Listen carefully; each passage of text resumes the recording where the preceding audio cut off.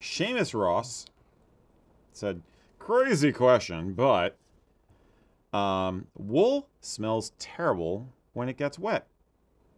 I don't want to smell like a wet sheep or a wet dog when caught in the rain outside. Are there any advancements on the additives to wool, to a wool kilt, to help in this regard? Yes, I have poly kilts as well for those days.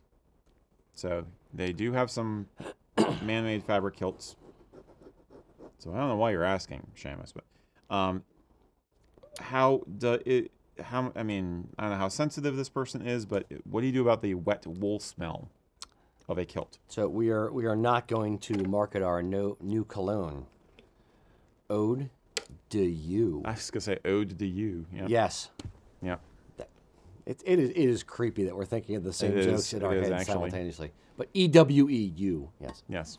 Um, the I don't think wool kilts don't have the same odor as a like an, an, Irish sweater or like a, you know, a Yeah. wool sweater kind of thing because it's Yeah. it's treated differently. It's it's it's finished. It's washed. It's not in the grease. It's you know it, there's a lot more treatment to the fiber and to the yarn than there would be to like a wool the, the material that you you know the yarn you would knit a wool sweater with. Um, so it's I don't think it's that big of a problem. I've had a kilt in the past, and I think I would guess, and this is me guessing, it is down to like the dyes used in a particular kilt. Um, there's one that I had, I think it was my either McDonald Clanranald muted or my Cameron muted that it's there was like a sulfury smell when it got wet. So I was at a festival and I was wet because it rained on the day and I, you know, and sweating and da da da da da. So you had a little bit of a sulfury smell, and I was self conscious as all get out about it, by the way. Um, but it was the wool itself, and I don't know if it was like the sulfur in the dye that was kind of coming out in, you know, for me, body heat, warm, you know, and making the kilt smell weird. Um, But we, I basically just wet washed it once or twice, and that kind of went away. I didn't have the problem again. But it's not something that's like a regular problem that I've experienced with the dozens of wool kilts that I've had. Yeah. Have either of you, we can bring back in for this too, have either of you had any smelling issues aside from your lack of hygiene? I mean, when we iron them, when we're when we're working on them, when we iron them, you can definitely smell certain, Yeah. with certain dyes. yes. Yeah. Um, Muted more than most. yes. So we noticed that there. I mean, we were at hmm, a Celtic uh, fling, and during a torrential downpour, and Lucas was like he worked on a on a frigate when he came back in from the tent. He was drowned in water. Um, but I almost I I and I'd be curious to this if it's per mill, like if certain mills, hmm. in in maybe it might be the content of their mixture and their wool they use, Possibly. or even the dye the secondly the dyes that they use. If some mills, like if some mills are a little bit more smellier than others when when it gets wet. I haven't really I haven't really noticed anything with with mine when they've gotten wet, but I'm usually not out dancing in the rain when it's so. But I'd be I'd, have- I'd be curious about the taking a sample of a little little sample of each and What about? Um, yeah, I, I to to the backtrack, I can't say I've really noticed it much. Um, I definitely noticed that effect more with like, you know, period clothing. You know, cloaks and and mantles and tunics and stuff that are a much coarser, uh, fabric.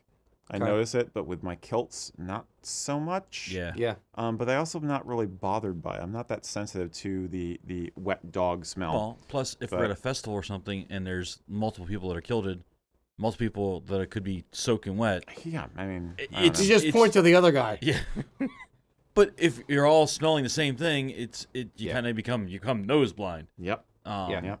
So, So, what about what about it? I mean, have you guys having worked with the fabrics? Can, could you point to a mill that would be a better bet for somebody if they're worried about this? Like, you know, oh wow, you should definitely just get House of Edgar cloth for your kilt, or no, don't don't do that one I think it has more to do with If- the dyes that are used with for. with muted specifically mm-hmm. Really? because it's it's the it's the yellowish green. It's the yellow in the green. It's Yeah. it smells sulfury. Well, Um, sulfur and yellow dye. Yeah, that makes That's sense. understood, and that's kind of where I'm going with it. That's where I think that's that's probably the only time that I've ever I mean, when, noticed a trend. Shall when, we say? when Kelly was in every day, when she was in in the production room every day, like we, she would always point out like, oh, this one smells like popcorn. This one smells like she would, but she would point out different things. That yeah, she was she definitely get a lot- creative with her smells. But she was definitely a lot more sensitive to that than than what we were. Yeah. Like, oh, sure, yeah, Okay. like so. eh, Yeah. And and it's for the record, this is a mountain out of a molehill. This is not something that the average person has to worry about smelling like they just, you know, exited Hades across the river. And this is not that strong of a sulfur thing. It's you smell it when it is when you are having iron and steam and you're Yeah, pushing yeah. hot air and hot steam through a fabric. Right. You can smell it a little bit, but it's not something like walking around you're gonna stink and people are gonna be like, What the hell did you No, it's not that. Don't worry about it. It's okay. Um, but it's you, you would notice it at particular times, and it's I. The only thing, Mac, do you have any other, tre- not trends, but any any I guess trends that you that you would notice it? With the smell, is it just muted, or and I'm not trying to lead the witness here. Too Yeah. much. Uh, that's what I was. tr- I was trying to think as, as you were talking, like if I noticed any other particular ones. Not that I can point out, but yeah, I, I- nothing like rings a bell. Like we know when you notice it, you notice it. Yeah. So it's I'm not. I'll have to. I'll have to keep a, a tally in the back of my Keep head. a nose out for it. Yeah, when Yes. uh, as we're doing stuff now, um, to see if it's if it's particular dye, like a dye lot type thing, or if there's more, like you said, more yellows, more reds, more, you know, something that would would need. Mhm. Um, Well, you know, historically speaking. do I do it? Erik's gonna come up with a bullshit story, so everybody buckle up, get your hip waders, because it's gonna get deep. There are two instances historically where this became a factor. Number one was with hunting or deer stalking. Essentially, you would always approach from, you know, downwind of the animal. That's normal common sense. But it was even more of a concern with Highlanders hunting the deer in the Highlands. So one of the things they would do is the night before a hunt, they would smoke all the kilts over the fire, so that basically they're getting rid of the wool smell and instead giving it more of a, a wood smoke smell. And that essentially, apparently, was enough of a a, a distract and a, a cover up, so they didn't have to worry about the the deer picking up on the odor. That's also the main reason why the Highlanders would drop their kilts before they went into battle doing a Highland charge because the odor coming off the kilts would warn the enemy like miles away. So you get rid of the kilt before you go charging in the battle. There's this, you know, Oddly enough, it's also the impetus for the song "Chestnuts Roasting, roasting on an Open Fire." Yeah. because the Highlanders would actually stand over the fire in their kilt, roasting their nuts. yeah, yeah, to get rid of to, to get rid of that wool smell. Indeed, indeed. Yeah, This is true. all true. It's true. Absolutely. Listen to us 100%. all right, enough of that. Was that Mac or was that you? Uh, that was mine. Okay.